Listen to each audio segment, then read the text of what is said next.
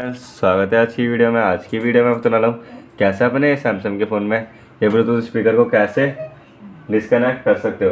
तो वीडियो शुरू करने से पहले आप हमारे चैनल को सब्सक्राइब करें एंड वीडियो को लाइक करें, और बेल आइकन दबाना ना भूलें। तो चले चलते अपनी वीडियो की ओर। तो सबसे पहले आपको अपने फ़ोन की सेटिंग को ओपन कर लेना है। तो जैसे हम अपने फ़ोन की सेटिंग को ओपन करते हैं तो आप देख सकते हो, हमको यहाँ पर उसमें रहता है कनेक्टिंग सिंपली कनेक्टिंग वाले उसमें क्लिक कर देंगे। तो कनेक्टिंग वाले उसमें क्लिक करने के बाद आप देखते हो, हमको यहाँ पर ब्लूटूथ का ऑप्शन दिया जाता है तो सिंपली में ब्लूटूथ वाले उसमें क्लिक कर देना। था ब्लूटूथ वाले उसमें क्लिक करने के बाद आप देखते हो जो कि हमारा ब्लूटूथ अभी कनेक्ट है स्पीकर तो हमको सिंपली इस पर क्लिक कर देना साइड वाले ऑप्शन पे। तो साइड वाले उसमें क्लिक करने के बाद जैसे होते हमको डिस्कनेक्ट करना है।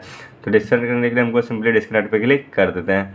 तो ऐसे क्या कि हमारा ब्लूटूथ स्पीकर है, वो डिस्कनेक्ट हो चुका है हमारे सैमसंग के फ़ोन में। तो आज की वीडियो पे समाप्त होती है। अगर वीडियो चलिए तो वीडियो को लाइक करें एंड चैनल को सब्सक्राइब करें एंड थैंक यू